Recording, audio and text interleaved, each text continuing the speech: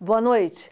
Influenciado, segundo ele mesmo, pela Santíssima Trindade de David Bowie, Madonna e Caetano Veloso, Johnny Hooker faturou o prêmio da música brasileira de melhor cantor já com o primeiro álbum.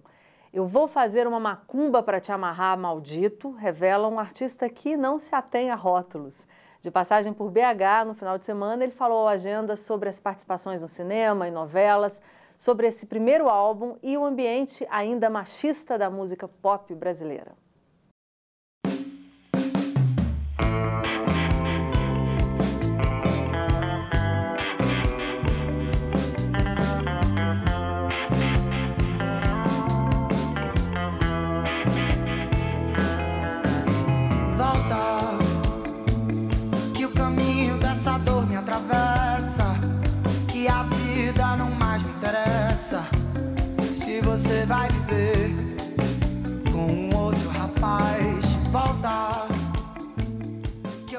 Hooker é.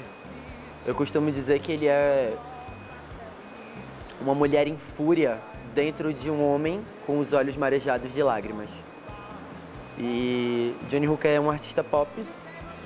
Ele é um performer, uma espécie de ídolo. Ele é futuro da música brasileira. um dos futuros. É isso. bares da Aurora, me lamentei. E confesso que talvez joguei tuas fotos e discos no mar. Quando eu tinha uns 8, 9 anos, eu assisti um documentário chamado Na Cama com Madonna.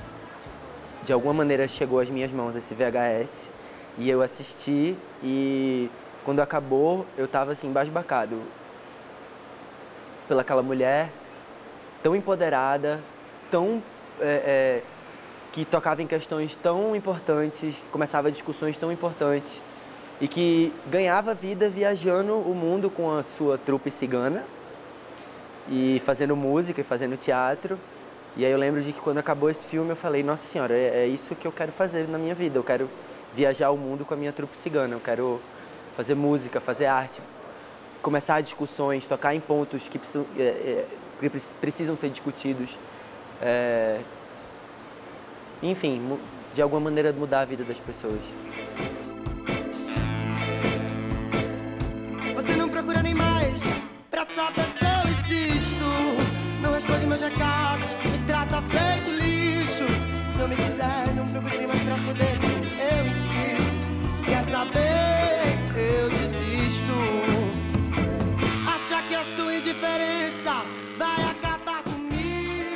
Acima de tudo, eu me considero um compositor. Acima de performer, acima de ator, acima de cantor. Mas para esse disco específico, eu, é, eu vou fazer uma macumba para te amarrar maldito, eu queria que ele fosse um disco clássico de fossa como o Back to Black da Amy Winehouse, como o Nervos de Aço do Paulinho da Viola, é, como esses discos clássicos de separação.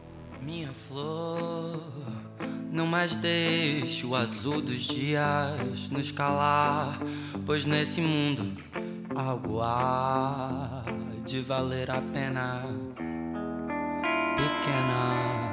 Mas ao mesmo tempo, eu queria que o disco tivesse a cara do lugar de onde eu vim, da minha aldeia, de Recife. Então, é, na hora de, de, de fazer, na hora de compor as músicas, eu falei, não, então vamos trazer o brega, vamos trazer o, o frevo, vamos trazer o samba, vamos trazer o axé. Os ritmos nordestinos, enfim, brasileiros de uma maneira geral. O motivo do disco ter sido feito todo independente, ele é claramente um, motivo de ter o controle artístico completo e, restrito sobre, sobre a obra.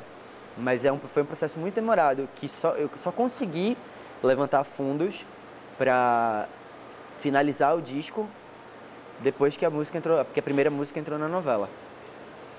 Realmente isso foi um, uma virada, assim, porque fazer um disco é muito caro e eu também não queria recorrer a essas coisas de edital, essas coisas me incomodam um pouco.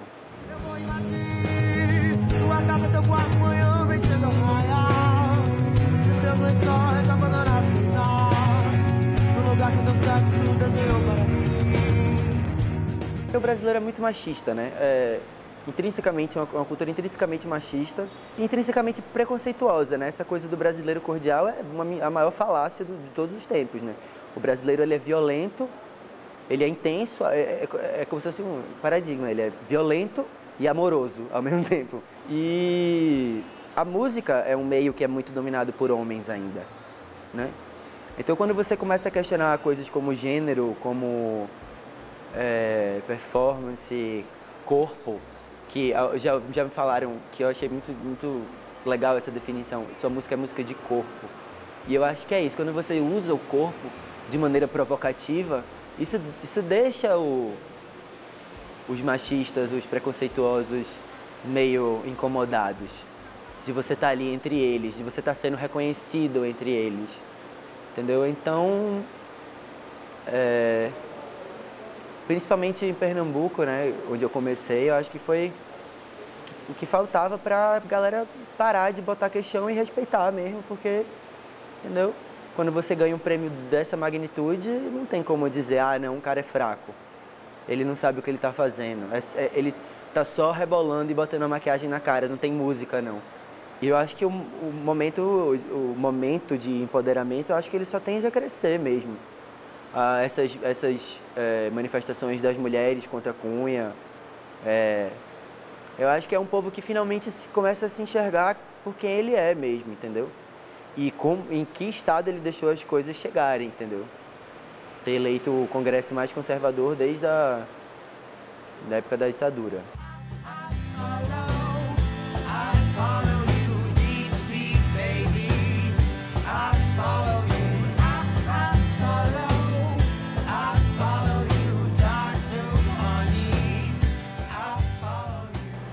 Alcançar o lugar que você disse mainstream que eu tô, eu tive que fazer um esforço hérculeo, entendeu? Então é muito de você botar a cara mesmo e dar a cara tapa e provocar essas discussões, provocar essas coisas. Uma vez um, um apresentador chegou para mim e falou: Não, porque você veio do underground de Recife. Eu falei: Underground não, eu sou um artista pop. E cortaram isso do programa. Entendeu? Porque ele ficou desconfortável, porque eu não era o que ele imaginava que eu fosse. Então, é, as pessoas precisam saber que os artistas pop do Brasil estão aí. Eles são vários, tem hits, tem músicas radiofônicas, tem. Entendeu? É, as pessoas precisam só prestar atenção e deixar de serem tão pobres. De alma, de corpo e de coração.